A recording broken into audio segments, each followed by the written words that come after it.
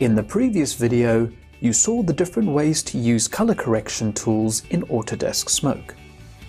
We'll now shift our focus to compositing with the Axis Timeline Effects tool. In the sequence, you can have as many video tracks as you like to perform standard layer compositing. Each video track can be considered as a layer, and you are looking at them from the topmost track downwards.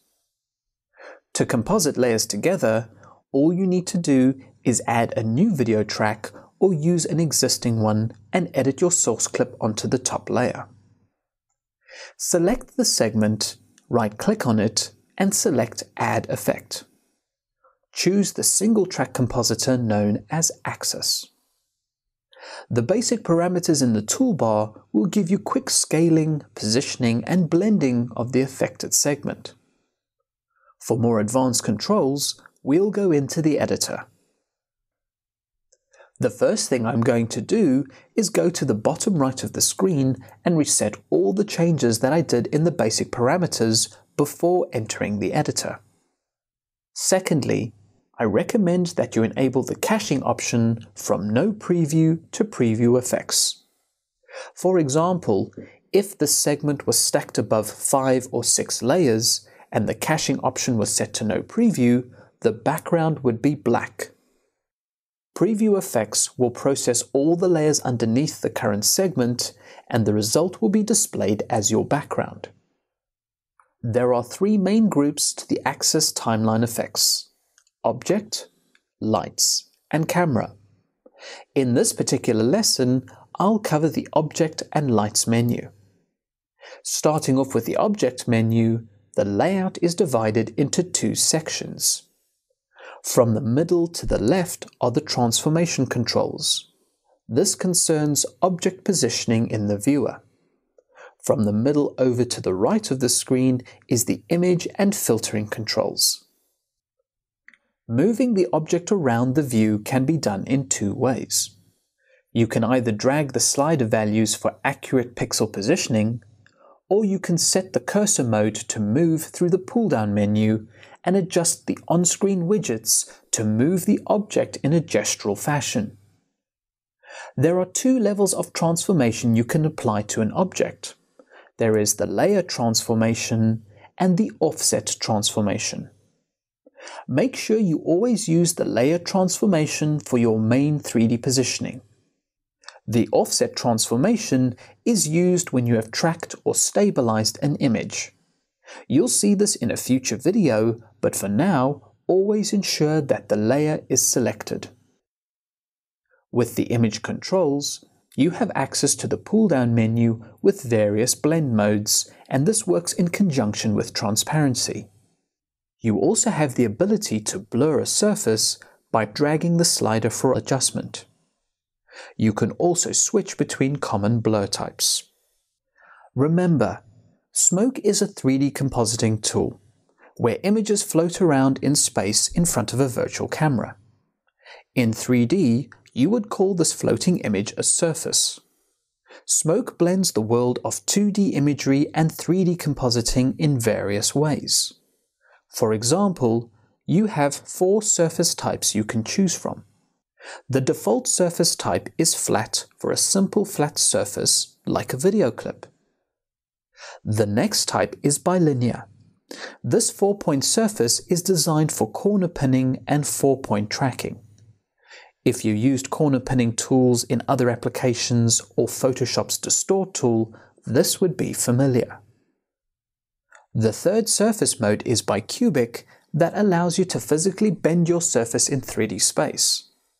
This will add true 3D depth to your image even if it was originally flat to start with. The fourth and final surface mode is extended bicubic, which has the same properties as the bicubic, but you can divide your images into further sections and manipulate them in any way you choose.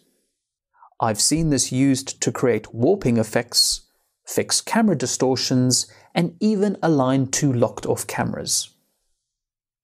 In the future, we will cover more advanced tutorials on these surface modes, but for now, we'll stick with the flat surface.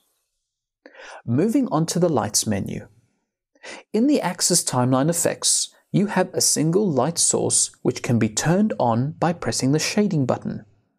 Shading refers to the image's surface and how it reacts to lights. This light can be moved around the viewer and it will only light the affected surface object. You can use the light to create a highlight pass and you can also dial down the spread to create fall off to create a soft edge spotlight. A few more points on the Axis editor. To your right are the viewer navigation, animation and reset controls.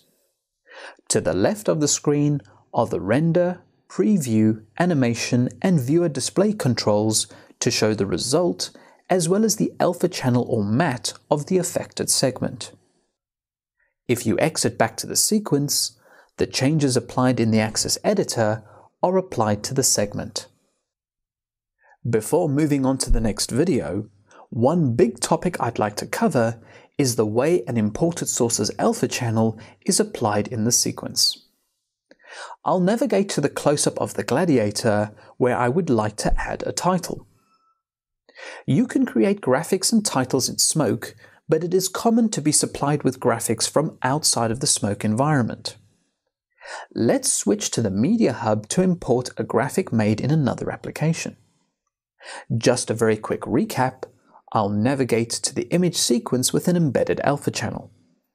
Notice that the Media Hub shows me the image sequence as a clip, which I can play back and mark up if I want to. In the General tab, Create Multi-Channel Clip is enabled by default. This means that when I drag the image sequence into the media library, the RGB and alpha channel will be contained into a single clip for easy access and keying.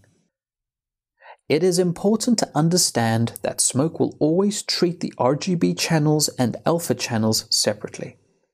They are automatically turned into a container clip on import.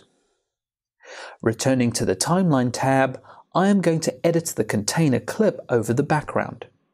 Notice that the alpha channel information is disregarded and the graphic is not keying through the background select the segment and add an axis timeline effects.